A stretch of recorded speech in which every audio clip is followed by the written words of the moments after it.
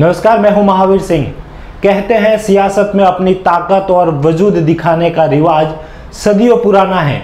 एक समय था जब कोई नेता अपनी ताकत चुनाव के समय दिखाया करता था।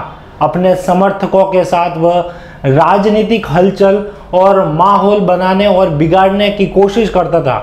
लेकिन अब नेताओं के जन्मदिन ही उनकी ताकत दिखाने का एक मौका होता जा रहा है। पूर्व उप मुख्यमंत्री सचिन पायलट और मुख्यमंत्री अशोक गहलोत के बीच राजनीतिक उठापटक के बाद जब सचिन पायलट का जन्मदिन आया तो उनके समर्थकों ने जोश और उत्साह के साथ जन्मदिन मनाया।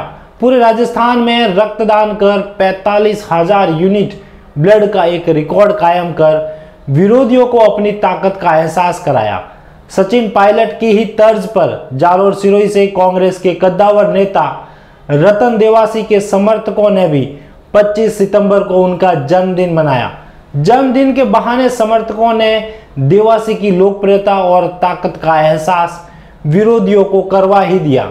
उनके समर्थकों ने जालोर सिरोही में सात हज़ार से अधिक पौधे लगाए, दान पुण्य किया और जगह जगह कई तरह के कार्यक्रम आयोजित किए। देवासी के समर्थकों ने शक्ति प्रदर्शन क्यों और किसके लिए किया? इस पर भी चर्चा करेंगे, लेकिन उससे पहले आज उनके जन्म दिवस पर उनके पारिवारिक और राजनीतिक जीवन पर नज़र डालते हैं। छात्र नेता के रूप में अपनी राजनीतिक जीवन की शुरुआत करने वाले रतन देवासी का पैतृक गाँव रामसिंह तहसील का मांडोली है। एनएसयूआई से छात्र राजनीति की शुरुआत करने वाले देवासी रानीवाड़ा विधानसभा से विधायक भी बने। 28 साल की उम्र में ही कांग्रेस पार्टी ने उन्हें विधायकी का टिकट दिया और देवासी कांग्रेस सरकार में मुख्य सचेतक भी रहे। हाल ही में हुए लोकसभा चुनाव में देवासी को जालोर सिरोही की लोकसभा सीट से कांग्रेस ने अपना प्रत्याशी बनाया था। देवासी जालोर सिरोही से लोकप्रिय नेता हैं। अब सवाल कि क्या यह शक्ति प्रदर्शन था? एक तरफ़ देखा जाए तो यह शक्ति प्रदर्शन की तरह ही था। जालोर सिरोही की राजनीति में फ़िलहाल कांग्रेस पार्टी में सबसे मज़बूत व लोकप्रिय नेता रतन देवासी है। सचिन पायलट के करीबी माने जाने वाले रतन देवासी के समर्थकों ने भी सचिन पायलट की तरह ही देवासी का जन्म दिवस एक शक्ति प्रदर्शन की तरह ही लिया।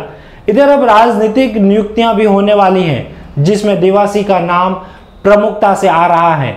कुल मिलाकर रतन देवासी का पैतालीसवां जन्म दिवस जिस तरीके से मनाया गया, वह आने वाले दिनों में बड़ा संकेत ज़रूर देता है। इस खबर में इतना ही, कुछ और राजनीतिक खबर के साथ हाजिर होंगे। जाते जाते एक अपील यदि आप पहली बार चैनल पर आए हैं तो सब्सक्राइब ज़रूर करें। धन्यवाद।